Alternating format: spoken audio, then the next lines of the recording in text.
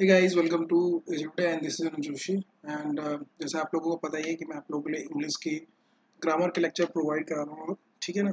और हमारा जो एम है बेसिकली जो हमारा एम है वो है जो एनडीए आपका आएगा सितंबर में ठीक है ना? सीडीएस होगा आपका अक्टूबर नवंबर के आसपास और जो अफकेट होगा आपका अगस्त में और एसएससी आपका जुलाई 2018 में। सो वहाँ तक हमें क्या करना है? कवर अप करना है ठीक है ना? और मैं आपको पहले ही बता चुका हूँ जो इंग्लिश है वो क्या है? रूल अच्छी बात है कि आपको रूल पता है, लेकिन आपका जो मेजर फैक्टर है इंग्लिश को सीखने का वो है सेंस कई लोग ऐसे होते हैं जो रूल तो बहुत सीख लेते हैं, लेकिन फिर भी जो एरर्स होती हैं या इम्प्रूवमेंट होती हैं, वो नहीं कर पाते हैं सॉल्व तो रीज़न क्या है? सेंस ठीक है ना? Sense is a major factor कि आपको इंग्लिश ग्रामर आ रही है कि नहीं आ रही है? और मैंने इससे पहले वाली वीडियो में भी बताया था, और इस वीडियो में बता रहा हूँ कि इंग्लिश को कभी रट्टाफिकेशन ना करें, समझने की कोशिश करें, क्योंकि इंग्लिश लैंग्वेज है। ठीक है सो इस वीडियो में मैं बात करूँगा सिंपल टेंस सिंपल प्रेजेंट की सिंपल प्रेजेंट की मैं पहले, इससे पहले वाली वीडियो में कवर अप कर चुका हूँ, ठीक है ना?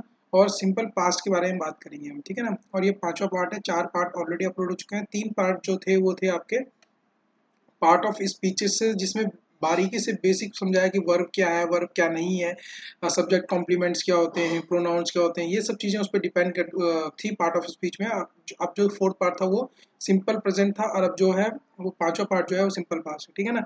सो अगर आपकी कोई क्वेरी है regarding with the effect C D S S S C N D A और एस एस बी के बारे में भी अगर आपको कोई भी क्वेरी है you can drop your query you can uh, drop your query on this whatsapp number that is 90458 okay?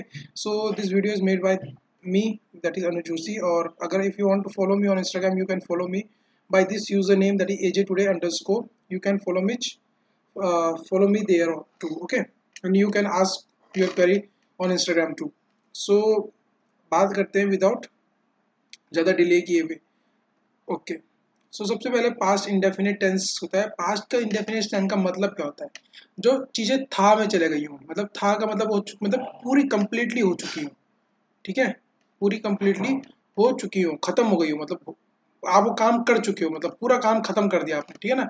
चुके हो के ना, बोल के मैं, अभी इसको मैं क्या करता हूँ, मैं बोलता हूँ, पूरा काम कर दिया हो आपने, ठीक है ना? पूरा काम कर दिया हो। वो आएगा आपका किसमें? पास इंडेफिनिट टेंस में, ठीक है ना? पूरा काम कर दिया मतलब काम खत्म हो चुका है। अब जैसे अगर आप सपोज़ मैं आपको समझा देता हूँ कि कैसे पूरा काम समझना है, थोड़ा सा इसकी थ्योरी देख लेते हैं। This tense is use to express an action express an action action मतलब होता है कोई काम। मैंने पहले ही पार्ट ऑफ़ चीज़ में बता रखा है, कोई एक्शन दैट हैपन्ड जो हुआ था, हो चुका था। ठीक है ना? हुआ था, चुका नहीं बोलेंगे, हुआ था और खत्म हो चुका है काम। ठीक है ना? क्या हो चुका है? काम खत्म हो गया। तो वो किसमें आएगा? पास इंडेफिनिट में आएगा।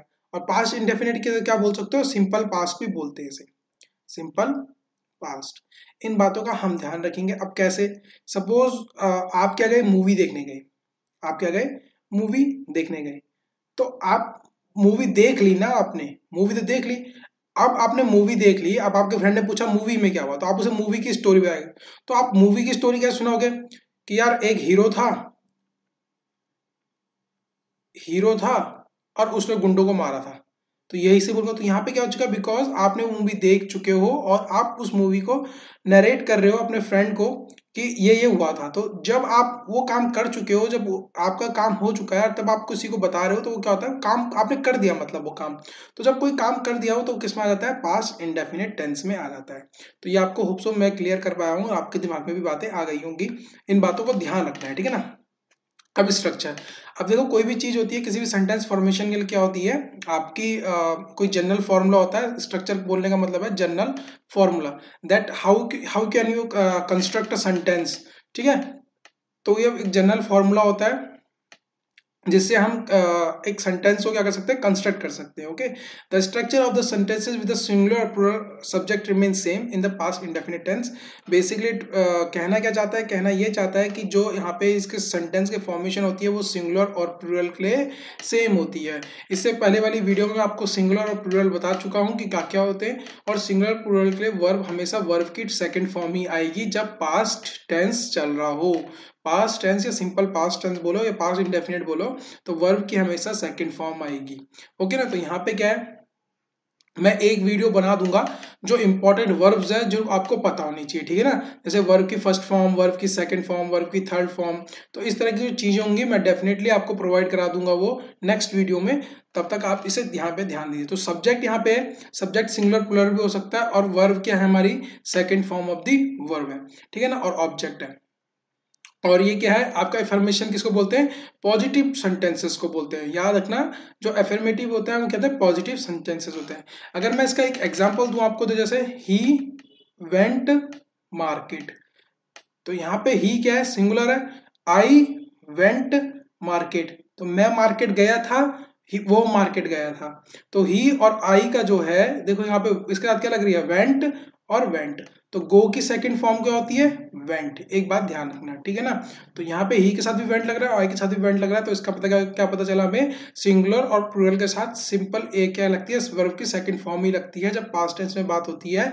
जैसे हमने प्रेजेंट में देखा था एस और ई एस लगना, वो नहीं होगा, ठीक है ना? वो सिर्फ़ किसमें सिंपल सिंपल प्रेजेंट में लगता है, ठीक है ना? तो सिंपल पास्ट में वर्ब की सेकंड फॉर्म ही लगेगी। अब नेगेटिव के लिए क्या होता है? देखो डू डू के जो पास्ट फॉर्म हो गई, वो क्या होगी? डिड। इस बात को भाई ध्यान रखना। सॉरी। डिड। ठीक है ना? तो डू की क्या हो गई? डिड तो ये इसकी फॉर्म सेकंड फॉर्म क्या हो गई? ये ये फ़र्स्ट फॉर्म हो गई डू और डिड क्या हो गई? सेकंड फॉर्म तो जैसे ही डिड लगा तो यहाँ पे क्या आ जाएगी? वर्ब की फ़र्स्ट फॉर्म आ जाएगी। क्या आ जाएगी? वर्ब की फ़र्स्ट फॉर्म यहाँ पे वर्ब की सेकंड फॉर्म नहीं आ रही है। तो जब भी आप ध्यान रखना, जब भी आप डिड का यूज़ कर रहे होंगे पास्ट टेंस में दिखाने के लिए तो बहुत लोग क्या करते हैं, यहाँ पे वर्ब की सेकंड फॉर्म लगा देते हैं, जो कि गलत है। क्योंकि डू का ऑलरेडी डिड बन चुका है, ठीक है ना? तो डिड बन चुका है तो जब आगे वाली जो वर्ब्स आएँगी, वो वर्ब क्या आएगी? फिर सिंगुलर वर्ब आएगी। तो कभी भी वाइल आर यू स्पीकिंग आप जब बात बोल रहे हैं, किसी मतलब एक दूसरे से कन्वर्सेशन कर रहे हैं तो एट दैट टाइम पे आप क्या करते हैं, बहुत ज़्यादा गलती करते हैं कि डिड के साथ हम क्या करते हैं वर्ब की सेकंड फॉर्म लगा देते हैं, जो कि कहना गलत है। तो जब डिड लग जाएगा डिड ला जाएगा, तब तो वर्ब की हमेशा फ़र्स्ट फॉर्म ही आएगी। इस बात को जरा अपने दिमाग में बैठाना रखना ना, ये एरर्स में पूछी भी जाती है बहुत बार। तो सब्जेक्ट के साथ डिड नॉट प्लस वर्ब की first form plus object negative क्यों बना? क्योंकि यहाँ पे नॉट लग गया। इंट्रोगेटिव में क्या होता है, जो हेल्पिंग वर्ब होती है, वो बाहर आ जाती है। अगर हेल्पिंग वर्ब नहीं है तो वर्ब बाहर आ जाती है। इस बात को ध्यान रखना। तो डिड सब्जेक्ट प्लस वर्ग की फ़र्स्ट फॉर्म प्लस ऑब्जेक्ट और इंट्रोगेटिव में आ गया। जैसे देखो did she write a book क्या उसने वो बुक लिखी? बुक लिखी थी, है ना? Did she write a book उसने बुक लिखी थी। तो यहाँ पे वो पूछ रहा है, ठीक है ना? अगर वो इंट्रोगेटिव नेगेटिव बोलना है तो did subject not verb plus object please ये सीक्वेंस को याद रखना कि डिड के बाद हमेशा हेल्पिंग वर्ब के बाद सब्जेक्ट आता है, फिर वर्ब आती है, फिर ऑब्जेक्ट आती है। इस बात को हमें ध्यान रखना है, ठीक है ना? तो जैसे यहाँ पे इसने इंट्रोगेटिव में एक एग्ज़ाम्पल भी दे दिया। Did she not write a book क्या उसने बुक नहीं लिखी थी? तो यहाँ पे ये आपको ध्यान रखना है, ठीक है ना? अब जो मेजर फैक्टर है कि आप सिंपल टेंस को कैसे पहचाने कि ये सिंपल टेंस है या कोई और टेंस में बात हो रही है है ना? कौन से टेंस में बात हो रही है इस बात को? क्योंकि पास्ट टेंस के भी मैंने बताया था, अगर मैं आपको शुरुआत की पीपीटी मतलब फ़ाइल में ले चलूँ तो मैंने बताया था आपको ये होता है है ना? तो यहाँ पे अगर मैं पास्ट टेंस के बारे में बात करूँ तो क्या आता है? सिंपल इंडेफिनिट टेंस मतलब सिंपल पास्ट में, फिर आता है प्रोग्रेसिव मतलब past continuous past perfect tense past perfect continuous तो आपको पता कैसे चले कि कौन से टेंस में बात हो रही है? ये भी तो मोटो है। तो आपको पता होना चाहिए तो कभी भी अगर आपको yesterday ago last the other day the day before previous night है ना? द लास्ट नाइट इस तरह से चीज़ें आपको देखने के लिए मिले सेंटेंस में तो समझ जाना ये सिंपल पास्ट की बात कर रहा है। ठीक है ना? सिंपल पास्ट के बारे में बात कर रहा है। अब देखो, इसका लेना देना क्यों है? क्यों बोल रहे हैं हम कि yesterday ago last the other day the day before extra previous night the last night previous day इस तरह की चीज़ें हम कंसीडर क्यों कर रहे हैं पास्ट इंडेफिनेट में? ये हम तब समझेंगे जब हम पास्ट परफेक्ट टेंस को पढ़ेंगे। ठीक है ना? पास्ट परफेक्ट टेंस को पढ़ेंगे, तब जाके हमें समझ आएगा कि हम क्यों बोल रहे हैं। एक और चीज़ याद रखना, मैं आपको चलो थोड़ा सा यहाँ पे समझा देता हूँ। कभी भी, जब भी टाइम दिया जाए पास्ट टेंस में, यहाँ पे लिख लो आप अपनी कॉपी पे टाइम दिया जाए पास्ट टेंस में। अगर आपको पास्ट टेंस की बात पता चल गई, यहाँ पे अब ये मैटर नहीं करता कौन सा टेंस है। पास्ट परफेक्ट है पास्ट इंडेफिनिट है, कुछ भी। ठीक है ना? पास्ट पास्ट कॉन्टिन्यूस है, ये लेना देना नहीं है। ठीक है ना? ये लेना देना नहीं है पास्ट कॉन्टिन्यूस या पास्ट टेंस अगर आपको टाइम दिया जाता है अब टाइम कैसे, यहाँ पे देखो टाइम तो यस्टरडे कल की बात मतलब जो बीता हुआ कल है, उसकी बात हो रही है। येस्टरडे एगो ये सब क्या है? टाइम ओरिएंटेड वर्ड्स है। तो ये क्या है? टाइम जो टाइम दिया जाए, अब जैसे अ डे बिफोर तो ये भी तो एक टाइम है। तो द अदर डे ये भी एक टाइम है। लास्ट ये भी टाइम है। एगो दो साल पहले एगो हुआ था तो वो भी क्या है? टाइम ओरिएंटेड दिया तो जब भी टाइम दिया जाए पास्ट टेंस में तो हमेशा याद रखना है सिंपल टेंस को हमें यूज़ करना है। लेकिन अब मैं आपको रटाने की कोशिश नहीं कर रहा हूँ। हम ये समझेंगे, जब हम पास्ट परफेक्ट टेंस पढ़ेंगे ना दोस्तों, तब हम समझेंगे कि एक्चुअली में इसका लेना देना क्या था, क्यों मैंने ऐसे बोला। तो जब भी आपको अब फ़िलहाल के लिए बस इतनी बात याद रखनी है कि टाइम दिया जाए तो पास्ट टेंस जब भी पास्ट टेंस में टाइम दिया जाए तो हमें क्या यूज़ करना है? सिंपल टेंस यूज़ करना है।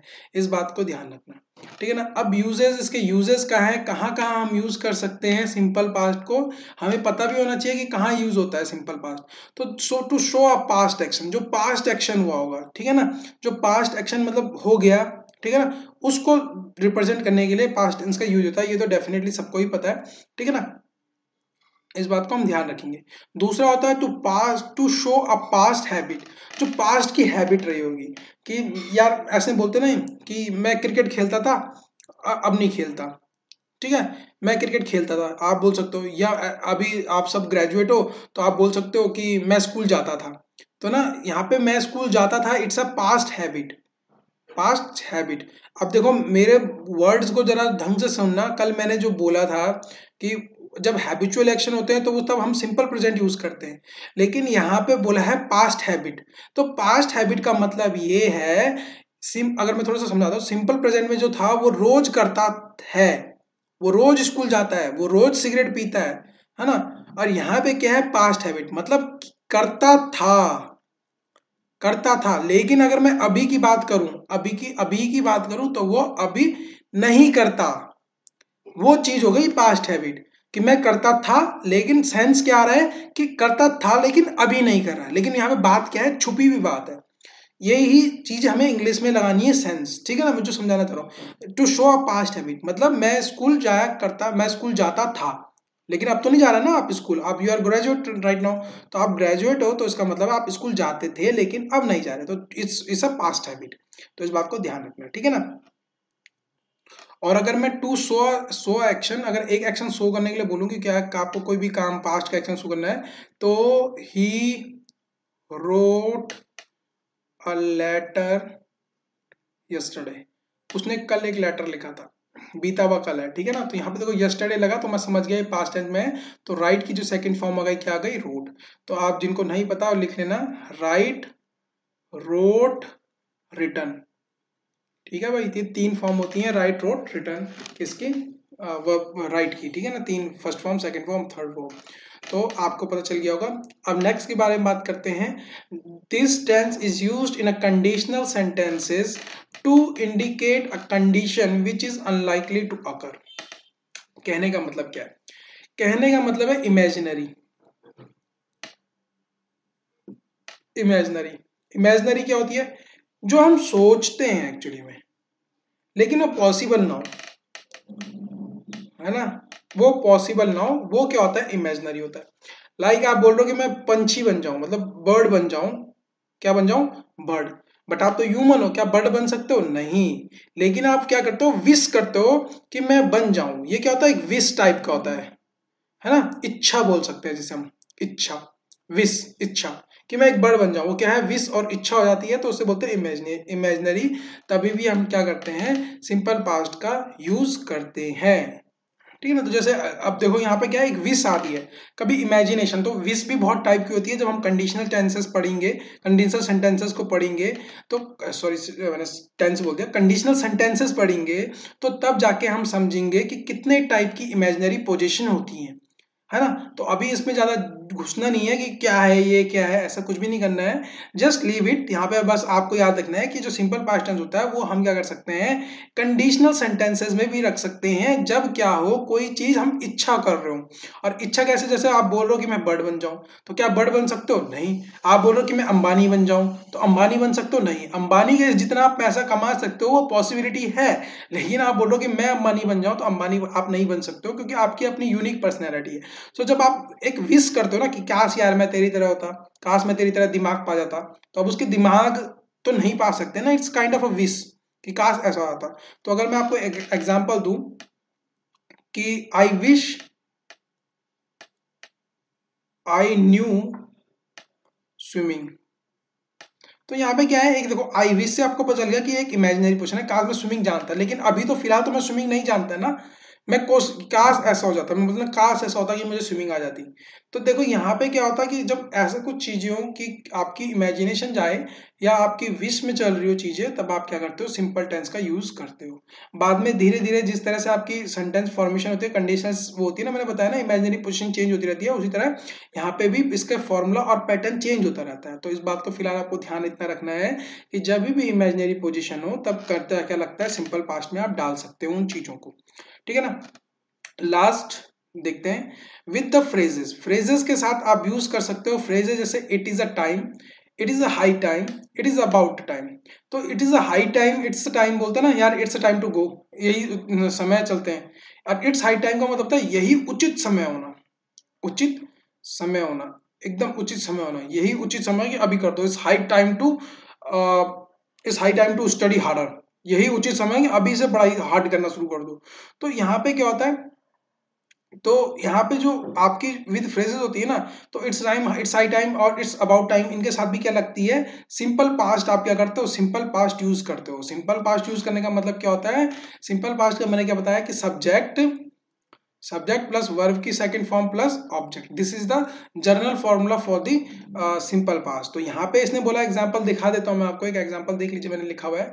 It is time you repair the AC यही समय है कि आप क्या कर दो रिपेयर कर दो एसी को। तो रिपेयर क्या है? Second form of the verb subject verb की second form plus object guys आपको समझ आ रहा होगा, ठीक है ना? अब जैसे मैंने अभी क्या बोला? It's high time to study harder. What you तो second form of the word आ गई यहाँ पे और इट्स टाइम आ गया। ठीक है ना? तो यहाँ पे क्या है या तो आप इसे या, अगर इस टाइम टू नहीं लिखना चाहते हो तो यहाँ पे लिख दो यू शुड स्टडीड हार्डर तो इस तरह से भी बोल सकते हो आप। यही उचित समय कि आपको और तगड़ी मेहनत करनी चाहिए तो इस तरह से। लेकिन एक एक्सेप्शन याद रखना भाई। एक्सेप्शन इस बात को अपने दिमाग में बैठा के रखोगे कि अगर इट इट्स मतलब इट्स टाइम टू बोल दे या बोल दीजिए, और या तो फिर बोल दीजिए इट इज़ टाइम टू दोनों एक ही चीज़ होती है। यहाँ पे देखो एपोस्ट्रॉफी एस लग जाता है ना तो एपोस्ट्रॉफी एस नहीं है। जब हम शॉर्ट फॉर्म लिखते हैं इसको, तब यहाँ पे डैश आ जाता है। तो इट इज़ टाइम अगर इसके साथ आपने टू ऐड कर दिया, तब वर्ब की सेकंड फॉर्म नहीं आएगी। वर्ब की फ़र्स्ट फॉर्म यूज़ होगी। अगर यहाँ पे टू लग रहा है, बीच में टू कनेक्टेड काम कर रहा है तो वर्ब की फ़र्स्ट फॉर्म आएगी और इसका रूल हम कब सीखेंगे? जब हम पढ़ेंगे प्रिपोजिशंस ठीक है ना? या इन्फिनेटिव पढ़ेंगे। इन्फिनिटी पढ़ेंगे, तब जाके हम समझेंगे कि ऐसा क्यों है। बट बाय द टाइम आप इस चीज़ को याद रखेंगे, इस टाइम टू और इट इस टाइम के बाद जब अगर टू लग जाए तो वर्ब की सेकंड फॉर्म ना आके वर्ब की फ़र्स्ट फॉर्म आती है। लेकिन अगर टू से कनेक्टेड नहीं है तो वर्ब की सेकंड फॉर्म ही आएगी। और इट्स टाइम इसके साथ इट्स हाई टाइम के साथ टू लगे या कुछ भी लगे वर्ब की सेकेंड फॉर्म ही आएगी। इस बात का हम ध्यान रखेंगे। वैसे तो आपको it's high it's high time के साथ आपको टू नहीं देखने के लिए मिलेगा। इस बात का हम ध्यान रखेंगे। ठीक है ना? इट्स हाई टाइम आपको टू देखने के लिए नहीं मिलेगा। इट्स टाइम के बाद आपको टू देखने के लिए मिलेगा। लेकिन अगर इट्स टाइम के बाद टू मिलता है तो फ़र्क की फ़र्स्ट फॉर्म आएगी। इट्स हाई टाइम के बाद हमेशा वर्ब की सेकेंड फॉर्म आएगी। अब यहाँ पे लास्ट एक नोट लिख लेते हैं कि अगर हाई टाइम आपको कहीं पे दिखा है तो वर्ब की सेकेंड फॉर्म ही आएगी। इट्स टाइम इट्स टाइम, अगर दिखेगा तो वर्ग की सेकंड फॉर्म आएगी। इट्स टाइम टू आएगा अगर तो वर्ग की फ़र्स्ट फॉर्म आएगी। इस बात को हम ध्यान रखेंगे। होप सो आपको मेरी बातें क्लियर हुई हो। अगर आपको वीडियो पसंद है तो लाइक कीजिए सब्सक्राइब कीजिए, अपने दोस्तों के साथ शेयर कीजिए। और आपके कमेंट बहुत ज़्यादा वैल्यूबल होते हैं। आपके कमेंट पढ़ के हमें भी अच्छा लगता है। अगर आपको वीडियो पसंद हो डेफिनेटली कमेंट कीजिए। It give us a boost to make such videos further ठीक है ना? Okay okay guys thank you so much for watching this video और बने रहिए एच के साथ।